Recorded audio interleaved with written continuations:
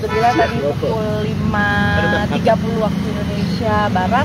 Alhamdulillah cucu kami yang kedua lahir dengan selamat jenis kelaminnya perempuan eh, panjangnya 48 eh, cm beratnya 3,3 jadi akurasi dari dua minggu terakhir um, aura check up semuanya normal.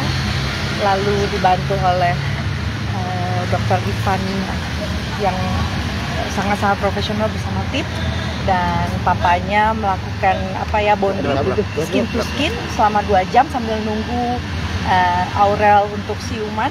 Baru setengah delapan Aurelnya dikembalikan ke kamar setelah observasi dan bayi pun langsung disuntik em, vaksin eh, dan juga eh, imunisasi vitamin K dan juga eh, satu lagi saya takut salah ya. Jadi ada dua vaksinasi yang tadi langsung diberikan oleh dokter.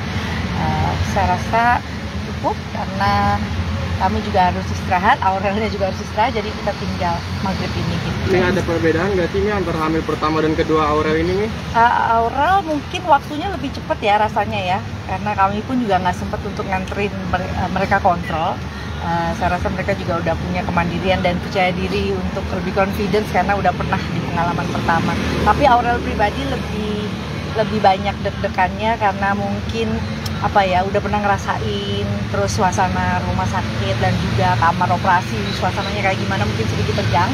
Sampai tadi juga dia sungkem jam 4 pagi kita udah standby semua tadi menuju kamar uh, operasi jadi kita rasain sih ya uh, deg-degannya. Tapi dari mulai jam 5.45 eh, sorry jam 4 4.45 masuk 5.30 kita udah dikabarin bayinya. Mimi sendiri ada ngasih saran atau tips nggak Mi ke Aurel di kelahiran kedua Eh, alhamdulillah tadi barusan sebelum maghrib udah lepas kateter ya. Jadi Aurel udah turun ranjang untuk coba jalan kaki dan eh, belajar untuk bersih-bersih sendiri bantu suster. Mi orang sempat Nama- eh, susah tidur katanya gimana Mi? Susah tidurnya itu karena itulah ada cemas ya, eh, anxiety, cemasnya karena mungkin eh, apa ya ya suasana suasana juga dia lebih banyak mikir sekarang karena mungkin eh, ya kondisi eh,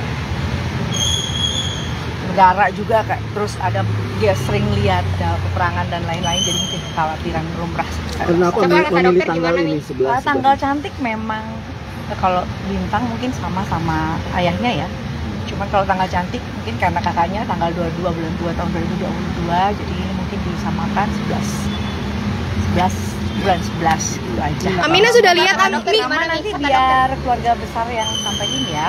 Amina Amina udah udah lihat adiknya gimana udah, reaksinya dari jam gitu? 7 pagi tadi saya gendong ketemu ketemuin dan eh, Reaksinya kompak kok ya kayaknya karena Amina udah biasa main boneka kecil jadi tadi uh, Kabar kata dokter gimana Mi? sehat? Hari-hari udah ditanam di rum- tempat tinggal mereka yang uh, baru insya Allah. Jadi saya rasa cukup ya teman-teman. Ya, siap. Terima kasih. ya, ya. terima Terima kasih, Mimi. lagi. bye Thank you Mimi. berapa nih Terima kasih sudah menonton video ini. Jangan lupa subscribe dan aktifkan lonceng notifikasi supaya kamu nggak ketinggalan video terbaru dari Grid.